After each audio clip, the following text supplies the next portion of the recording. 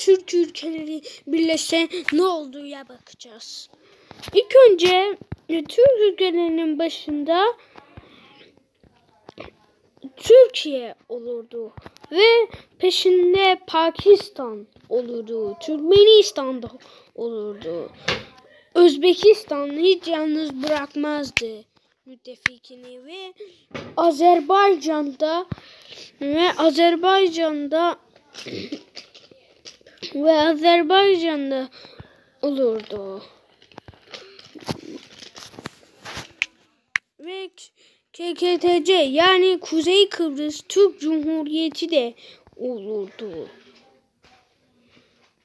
Kırgızistan'da olurdu. Ee, hmm, Tacikistan'da, Afganistan'da olurdu. Filistin'de olurdu. Türk devletleri Tacikistan'da olurdu.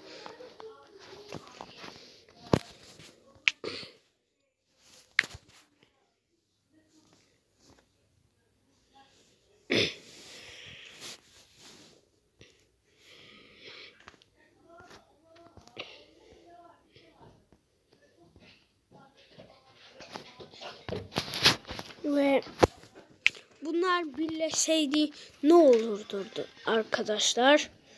Kısacası şunlar olurdu. Bütün o bütün kral bütün ülkeler olurdu. Hatta Abi, hatta Abi. ne?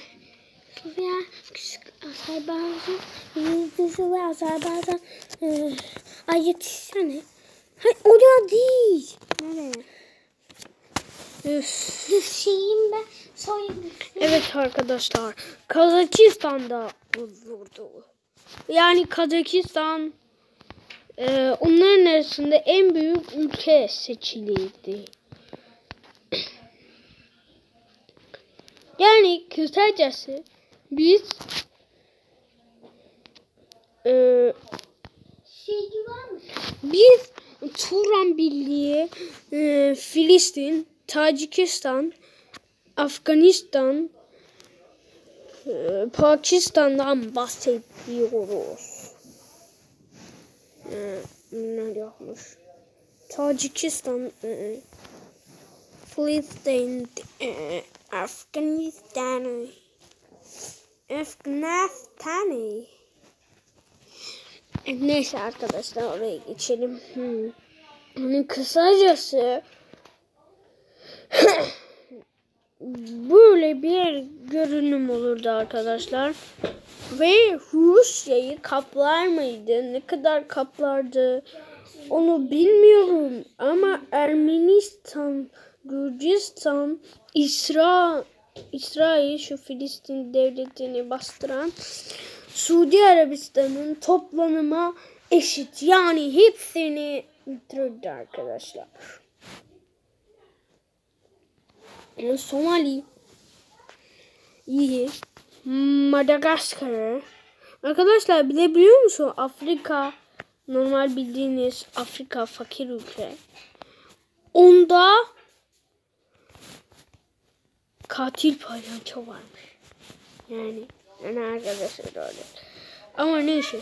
Süper güç Amerika'ya bile karşı koyabilirdi bu devlet. Yani o kadar da değil diyeceksiniz ama karşıda koyardı. Karşıda koyardı. Karşıda koyardı. Karşıda. Karşıda koyardı. İzlediğiniz için teşekkürler. Yani kısacası o kadar büyük bir devlet olurdu ki. e, izlediğiniz için teşekkürler.